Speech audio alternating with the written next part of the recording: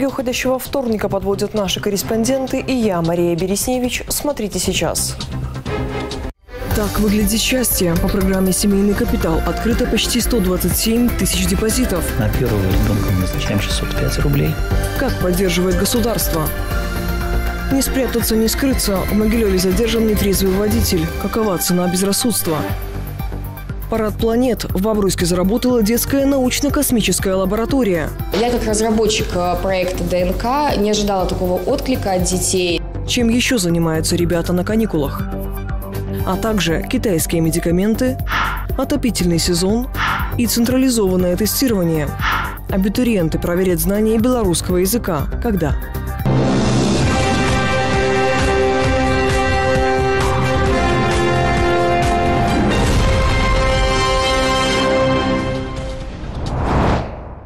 Система сдерживания. Глава государства посетил одно из предприятий военно-промышленного комплекса. Ранее, напомним, Александр Лукашенко давал поручение организовать в стране производство наиболее используемых типов боеприпасов. В ноябре прошлого года эта работа началась. Сегодня в Беларуси изготавливают артиллерийские снаряды, авиационные бомбы и опытные образцы оружия. Многие успешно прошли испытания. Оказывается, это очень нужно в армии. Ракеты ракетами, высокоточное оружие, самолеты, вертолеты, леопарды, бредли, которые уничтожаются так же, как и э, советские э, наши э, танки и БМП. Мы это увидели недавно в результате первого этапа контрнаступа. А как оказалось, грады наши, новые, модернизированные, это не советские грады, шквал. И РСЗО, вот они дальше там стоят, э, смерчи и прочее, они оказываются очень нужны и решают большие проблемы на фронте. Поэтому хорошо, что мы далеко не влезли в дорогостоящие э, вещи, которые мы и произвести не сможем, а надо было закупать. А вот на земле это все, плюс автоматы, пулеметы, гранатометы, они решают большие-большие проблемы. Кроме того, Беларусь готовится к размещению на своей территории тактического ядерного оружия. Президент не устает повторять, это элемент сдерживания. И применено оно может быть лишь в одном случае – военной агрессии в адрес нашей страны. Алкоголь и дорога – вещи несовместимые. В Могилеве задержан нетрезвый водитель. Около четырех часов утра наряд ДПС заметил БМВ, которая повернула на большой скорости и оказалась на встречной полосе. Затем мужчина остановил машину через несколько сотен метров и попытался убежать. По внешним признакам стало очевидно – накануне автомобилист выпивал. Однако от освидетельствования он отказался. Особое внимание милиционеры уделяют выявлению автолюбителей и мотоциклистов, севших за руль в состоянии опьянения, либо не имея права управления, игнорирующих соблюдение скоростных режимов, пренебрегающих требованиями правил обгона и маневрирования, а также проезда пешеходных переходов. Мужчине грозит лишение прав на 5 лет и штраф 7400 рублей. Весомая поддержка по программе «Семейный капитал» открыто почти 127 тысяч депозитов. Он назначается при рождении третьего или последующего ребенка. В 2023-м сумма выплат почти 30 тысяч рублей. Большинство многодетных сообщили о намерении использовать средства досрочно. Это стало возможно с января прошлого года. Чаще всего деньги идут на улучшение жилищных условий, медуслуги и образования. За последние 10 лет количество таких семей увеличилось на 70%. Семье назначается пособие по уходу за ребенком, и его размер также значительно. Сегодня он превышает уровень минимальной заработной платы. На первого первого ребенка мы назначаем 605 рублей. Если в семье воспитывается еще один ребенок э, в возрасте до 18 лет, то размер пособия уже 870 рублей, и он выплачивается на протяжении трех лет. Поддержка государства начинается еще до рождения малыша. Женщины получают бесплатное, доступное и качественное медсопровождение. К тому же, например, при появлении на свет первенца выплачивается единовременно 3,5 тысячи рублей. Сфера ценообразования, старт тестирования и посещения лесов. В стране продолжают действовать ограничения и запреты. В каких областях сохраняется чрезвычайная пожарная опасность? Громкие заголовки дня далее в специальном обзоре. Президент подписал указ о принятии мер в сфере ценообразования. Документ направлен на формирование наиболее прозрачного механизма экспортных цен на отдельные товары. Также теперь максимально допустимый рост платежей населения за жилищно-коммунальные услуги не должен превышать половины базовой. Ранее он был привязан к долларовому эквиваленту. В Беларуси могут начать производить китайские медикаменты. Речь о лекарствах, вакцинах и инсулине. Пандемия коронавируса негативно сказалась на раннем выявлении онкологических и кардиологических заболеваний. Теперь эту ситуацию нужно исправлять. Для этого нам важны поставки с КНР нового диагностического оборудования.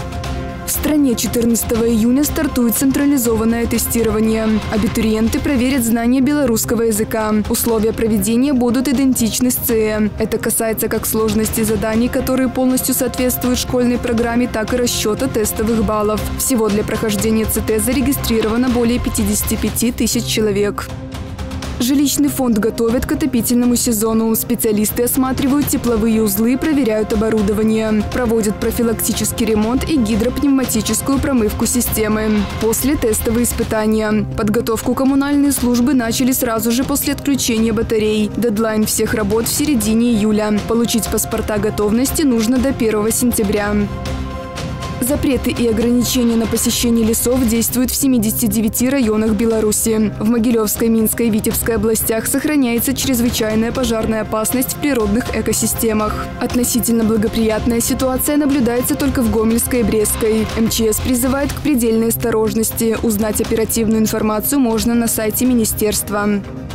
Негативная прогрессия. В Могилевской области увеличилось число заболеваний ламборелиозом. Зафиксировано 44 случая. Это в два раза больше, чем за аналогичный период прошлого года. Эпидемиологическое расследование показало, 99% заболевших своевременно не обратились за медпомощью и не получали лечения после укуса клеща. При обнаружении клеща на теле необходимо как можно быстрее удалить его, обратившись в организацию здравоохранения или, если нет такой возможности, удалить самостоятельно. Для этого используются специализированные средства средства для удаления клеща заводского производства, согласно инструкции, можно пинцетом удалить или нитевой петлей. Специалисты напоминают, чтобы обезопасить себя, достаточно соблюдать простые правила. На прогулке надевать светлую, максимально закрытую одежду и пользоваться защитными средствами. Знание – сила. В Бобруйске заработала научно-космическая лаборатория.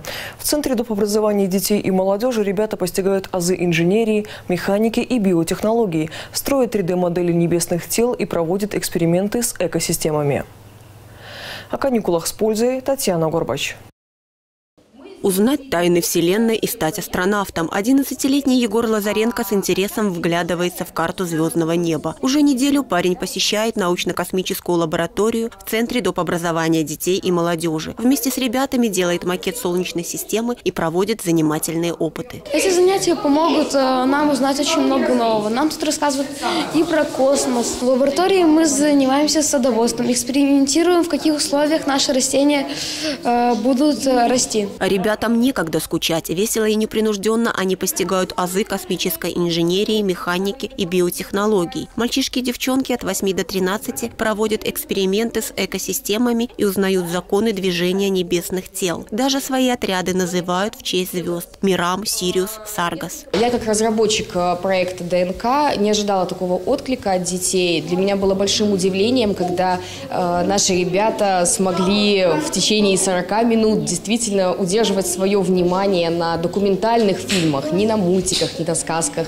а на документальном фильме, связанном с МКС, как ну, самой большой лабораторией. Им было действительно очень интересно э, познавать новое, они задают очень много вопросов. А в этом классе создаются 3D-модели космических кораблей, планет и астероидов. С помощью компьютерных программ, которые используются в киноиндустрии, дизайне и архитектуре, дети постигают основы астрофизики. Занятия развивают воображение, усидчивость, учат нестандартные стандартно мыслить. Каждому индивидуальный подход. Что нового ты здесь узнал? Как движутся спутники, как движутся планеты и что происходит в космосе. Мне нравится 3D-моделирование, еще мне нравится делать скрипты и, и вообще делать программы мне нравится. Отдохнуть, развлечься и научиться. Неофициальный девиз летнего отдыха. У Центра доп. образования собираются ребята со всего города. Тематические площадки от ГАИ, МЧС, ОСВОДа манят как магнит. Мальчишки и девчонки получают самые важные навыки в жизни. Плюс участвуют в конкурсах, разгадывают загадки и делают селфи. Служба МЧС заинтересована в том, чтобы большие летние каникулы у детей прошли безопасно. Спасатели напоминают детям, как себя вести безопасно дома, когда они остаются одни, как себя вести безопасно на водоемах, отдыхая на природе, на игровых площадках, либо когда собираются в лес. На летних каникулах в Могилевской области планируют оздоровить около 46,5 тысяч детей. Это на полторы тысячи больше, чем в прошлом году. На эти цели из республиканского бюджета выделено свыше 6 миллионов. В среднем путевка в лагерь обходится в 65 рублей. Плюс интересный и разнообразный досуг. Все для того, чтобы школьники вернулись на занятия с новыми силами и незабываемыми впечатлениями. Татьяна Горобач, Дмитрий Шевцов, Бобруйск, 360. Это все из событий к этой минуте. Смотрите нас в интернете и соцсетях. Мы в эфире каждый будний вечер. Счастливо!